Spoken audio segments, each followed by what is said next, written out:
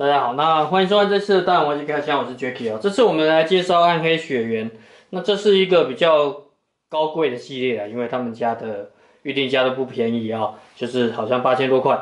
那当然，它也是以非常细致的暗黑风格的的那个细致程度跟雕刻程度来做呈现哦。所以你可以看到，这次是他出的第三支系列。那我们来看一下第三支系列的这只角色哦。那之前呢，其实他出了两支系列都颇受好评哦，所以第三支系列呢，也就相对的在呃陆续的，应该是说应该怎么样，陆续陆续的公开下就顺利发售了。可是我觉得第三支。出了之后，它好像有点缓了，因为到现在还没有看到第四支的预购或是第四支的图哦。那可能第三支卖的并没有像之前前两支来的好，好，这是我个人猜测的原因呐。好，那首先我们来看一下这张的说明书。说明书呢，大概讲一下头呢是磁铁，那你把它拔开，里面有开关可以打开眼睛会发亮。那底座呢，跟之前一样用遥控式的控制去调整底座灯光的感应跟。亮暗，这是还蛮方便的。我希望钢铁人可以改的，用遥控去控制全身的灯光亮暗，多好啊！好，就不用在那边拆拆装装。好，那后面是武器，那它总共附了四种武器。好，因为两把刀啦，然后两个就是有点像像叉子的东西。那再来呢，这边讲的它后面的磁铁稀释的。好，这次的底座成功的把 这次也做，之前小丑也有附这样子，可是很好笑的是，小丑里面竟然。忘了把磁石放上去，所以它吸不上去，这还蛮搞笑的。那在这一版呢，上面没有问题，但是我也遇到了一个出厂的小瑕疵，这等一下来解释给大家看哦。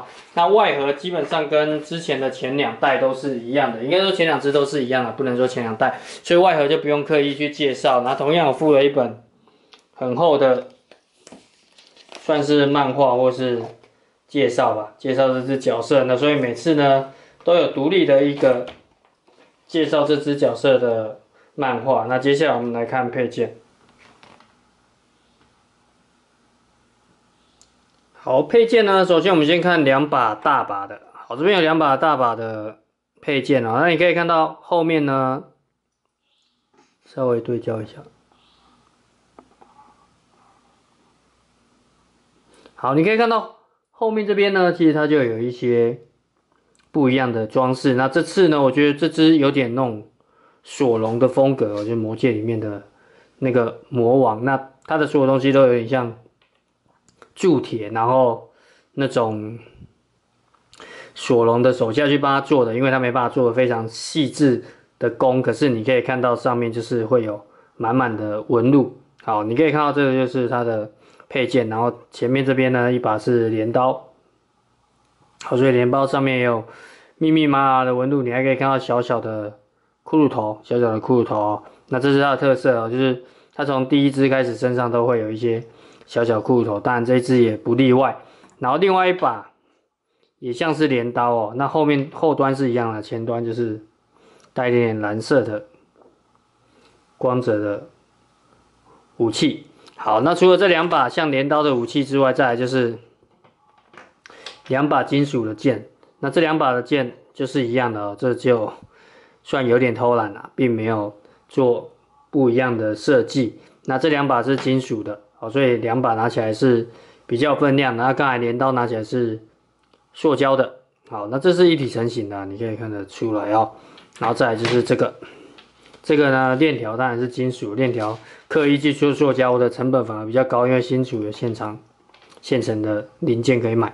好，那这个你就可以看到，它就有点像是血滴子吧。好，我也不知道怎么形容这个。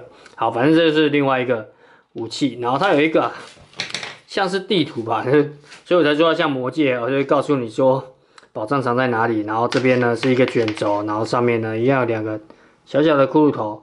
好，那这你当然可以把它卷起来，不过这个质感不是很好，所以这这一张是我觉得。整系列或是说里面做的最不好的一张纸，就是太过随便。好，那这是背面，它就是一张印刷的纸。好，那再来就是手势，那有三个手势。好，那左手应该是说右手多一个啦，就是拿武器的。那其他两个也都是可以拿武器，这是中空的。然后身体上还有插了一个就是半开的一个手势，所以这是它手势。手势上都有副关节球，方便你去拆装，这是还蛮人性化的部分。如果你买过很昂贵的 B 十三啊，你就知道它没有副关节球，拆完之后你会变成小叮当的手，就装不回去了哦。所以这个很贴心的替你想哦。就是上面的有副光接球，那再来就是它的面罩，那这是面罩呢，可以戴在它的，不管是它不知道算算龙头还是算马头，它这一只角色应该是龙啦，好，所以可以戴在它上面哦，有点像圣斗士，好的一个龙头的面罩，然后有附一个邪恶的骷髅头，那这骷髅头呢，其实还原度跟雕刻都不错，然后质感成青绿色，好，那这是它所有配件哦，再来底座呢。不免俗套的就是一大堆的骷髅头，那我觉得底座算是表面上还做的不错啦，就是涂装上普通，然后转到背面来呢，好就是比较差的地方哦，就是这边的模具感觉就是现成料去套用的啦，所以就是还蛮粗糙的。好，这从第一版就已经是这样子，这是我个人觉得比较可惜的地方。然后电池。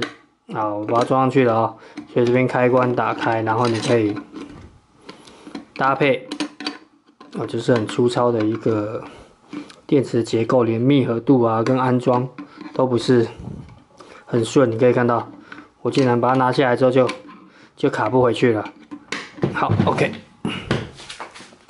好，这边有感应，你要先按按啊，那我已经忘了。它到底要感应哪里才才有效果？还是我放很久电池没电了？好，反正这跟之前一样，我就不用刻意介绍，就是这边有个开关，有一个加亮跟加暗跟减减暗哦，所以它有亮度的程度是可以调整的。然后再来讲，我收到就是瑕疵的地方，那这个呢，你可以看到上面有没有被我拆过跟粘过？为什么呢？因为它磁铁正负极装反了。所以呢，我把角色放上去的时候，它又硬把它推出去，让它飞出去啊，所以我只能把这边剪掉，然后把磁铁翻面再装回去啊。所以品管还有待加强。那接下来我们来看主体。好，主体呢，格是承袭一贯以来的华丽细致风格。那头盔呢，你可以看到这就呈现出骨头的感觉哦。所以这边呢，就是。它是骨头色的，那其他就都是盔甲的风格。那头盔呢？你可以不能说头盔，它头呢，磁铁是没把它拔起来，底下这边有个开关，按了之后呢，眼睛就会亮。那这次眼睛呢，其实算是比之前来的亮一点点。然后它是蓝色的灯，你可以看得到。好，那我再按一下把它关掉，然后再来它的嘴巴，好吸回去哦。嘴巴是可以做。做开合的，好，有一点点的开合角度，然后它可以戴上它的面罩，所以它就有点是龙骨的感觉。那我个人觉得，其实暗黑的这种感觉，那听到咔一声就表示它装上去，不是听到咔一声就表示断掉了。好，我个人觉得它的感觉呢，其实是还蛮帅的，但是。头罩呢，我觉得不要戴比较帅。好，这是我个人觉得啦。那不过戴上去呢，就是很有那种圣斗士小罗罗的风格。好，我看过圣斗士的话，就大概知道我在讲什么哈。那小罗罗大概就是这样子，好，就是同一色系的盔甲嘛。好，那这个头盔呢，戴上去之后发现，哎，我拆不下来。那我稍微把它。拆下来一下，毕竟它不装头盔比较帅。好，那再来这两侧呢，这个是软的，比较不用担心它压坏。头部呢，基本上活动范围不大了，但是微动跟转动是没有什么问题。但低头跟抬头，哦，角度比较小一点，低头角度比较小，抬头还有一点点角度。好，这是头部的可动。那再来就是肩部，肩部比较特别，我觉得它这个竖体应该是特别去改装设计过，所以肩膀比较外扩，这个手凸的比较出来。碍于它因为盔甲这两个凸出来哦，所以它如果一般的竖体的，所谓我们把它叫窄肩竖体或是一般竖体，应该没有办法装它的盔甲。好，所以它盔甲应该有独立的再装开关，然后这边有比较大的可动。那相对的，你不太可能去换它的竖体啦，哦，因为它所有盔甲都是粘死在里面的。好，这是竖体，然后你可以看到上面的。纹路，而且它上面比较特别的纹路，就是你可以看到它特别设计左右不对称，这是我觉得它在设计上就是很美式风格。好，然后有注重到就是左右不对称的风格的感觉哦。然后肩胛的就左右对称的，好，这两块就没有左右不对称。那手甲呢也是左右不对称的，这等一下大家可以看一下。那我们转到背面，先来看背面。背面呢，则是有它的龙骨，然后这边呢，也是有呈现一点点左右不对称。那其实它画的是左右对称，只是手工毕竟要画两个左右不对称，几乎是不可能的。所以这边呢，是严格来说，这边是左右对称的，然后这边是左右对称，然后后面这边呢，手肘也是左右对称。好，那转回来正面，那我们再往下看一下。那手的部分呢？手腕的盔甲这边就有做左右不对称的，你就可以看到这边是不同的纹路跟不同的装饰。那这个地方呢，就比较来的细致哦。你可以看到这边的图案跟这边的图案是不一样的。好，然后这边有一个类似像恶魔的头。那手部的可动。基本上因为盔甲都塞满了，所以可动就普通了。就算它竖体是双光节，它也只能做单光节，不到九十度的转动。好，那腰部呢，勉强可以前后跟左右转。好，角度普通啦，不算大也不算小。好，然后胯胯下就是有一些装饰，所以我们再往下看。好，这边你就可以看到有蛮多的。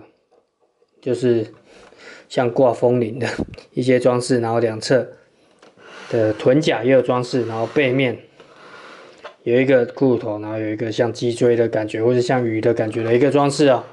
好，然后内侧呢还有它的盔甲，所以你把这翻起来，内侧也没有偷懒，你可以看到内侧也有非常漂亮的纹路跟装饰。那整只我都觉得非常的索隆的风格，哦，就是不是那个哦。不是海贼王的索隆哦，是魔界里面的那个魔王。好，然后再往下半身看，你就可以看到盔甲。其实我觉得盔甲的质感虽然没有到非常银漆的感觉，可是呈现就是中古时代那种盔甲有点银生锈，然后带点黑色的感觉哦，所以质感算是还不错。那靴子呢，也是有中古世纪的那种靴子的质感。然后我们来看一下。脚底，好，脚底就是还是有纹路，并没有偷懒哦。好，这个就是整只的特写。那最后呢，让大家看一下全身的转转乐。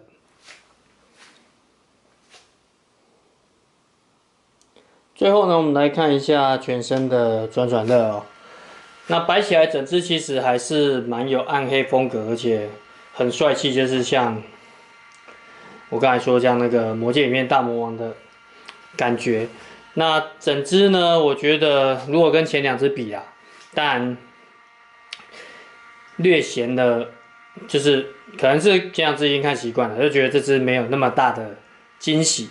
那当然它还是维持一定的水准跟细致度哦。那如果没有买过前两只的，那这只是蛮值得收的。那如果你已经买了前两只，没有收第三只，好像也怪怪的。好，那反正说来说去呢，都还蛮推荐大家买买这个。暗黑系列，它毕竟是目前人偶比较少数有这种特别的风格啦。那我们特写让大家看一下它的盔甲。那这是这一个系列里面算是比较特别的一个地方哦。好，所以如果你喜欢暗黑风格，我觉得它是不容错过的一只角色。那在这里当然也推荐给大家，如果你的有预算的话，因为毕竟它其实算是人偶里面算是比较高贵一点点的，虽然还没有 BK 十三来的贵哦，但是其实诚意上你可以感觉得出来，它在制作商品的诚意上是还蛮足够的。那同样的，就是我的频道呢。需要大家的帮助哦，所以如果大家有空的话，可以帮我上了上一些字幕。那在这里由衷的感谢大家，那也谢谢大家持续关注大人玩具开箱的新品介绍。同样呢，有需要预定商品或是需要配合的厂商，都可以与我联络哦。那希望大家可以持续关注大人玩具开箱的最新开箱，也可以追踪我的 FB 上面大人玩具开箱的粉丝团，你可以得到最新玩具预购的消息跟一些玩具的资讯。那谢谢大家收看，这次暗黑雪原的第三只，应该算是龙吧的角色之大人玩具开箱。